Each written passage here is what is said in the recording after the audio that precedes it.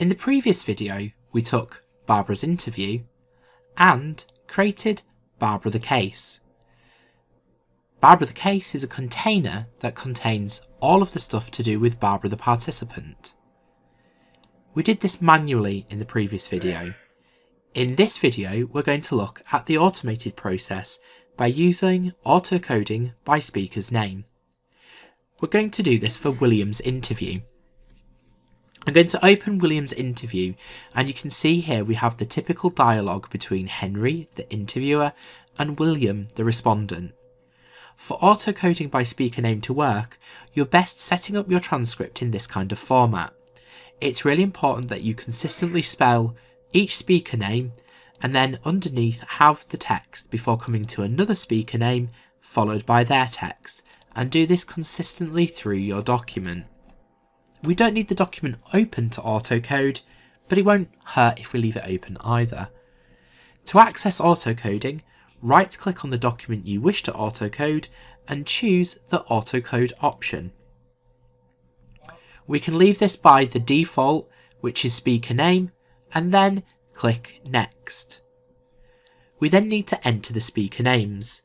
It's important to include all speakers, which includes the interviewer.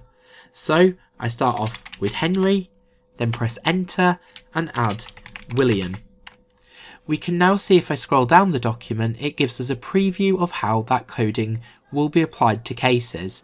I can see that accurately William and Henry are identified and that the program is correctly interpreting this.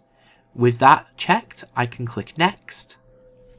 For me to continue with this, I need to create a case classification. We'll look at case classifications in more detail in the next video, but your case classification is the overall grouping that holds all of your individual cases together.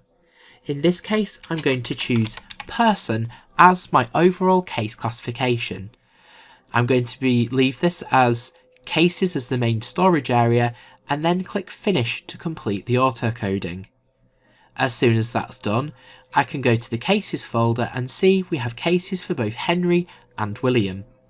And if I look at the coding stripes for all coding, I can see this is also referenced in the transcript itself. If I double click on William, for example, the case, it will just bring in the text from William's interview.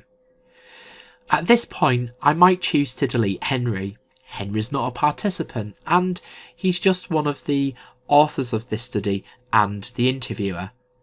Stay tuned in the next video where we'll look at case classifications in more detail.